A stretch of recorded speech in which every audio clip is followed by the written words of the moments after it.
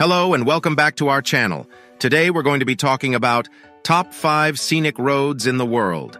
There's nothing quite like hitting the open road and taking in the beautiful views. So I've done some research and come up with the top 5 most scenic roads in the world. Let's get started. Starting off our list is the Great Ocean Road, located in Victoria, Australia. This 243 kilometers long road hugs the coastline and offers breathtaking views of the ocean and surrounding landscape. Some of the highlights along the way include the 12 Apostles, Loch Ard Gorge, and the Otway National Park. Next up is the Trollstigen, a 106 kilometers long road located in Norway. This road winds through the mountains and offers some of the most dramatic scenery you'll ever see.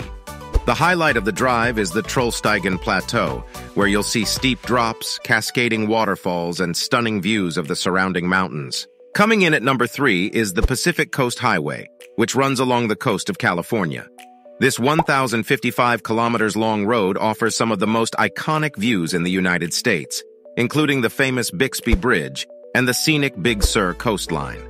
Along the way, you'll also pass through charming coastal towns and see plenty of wildlife. Our fourth scenic road is the Ring Road, a 1,332 kilometers long road that circles the entire country of Iceland.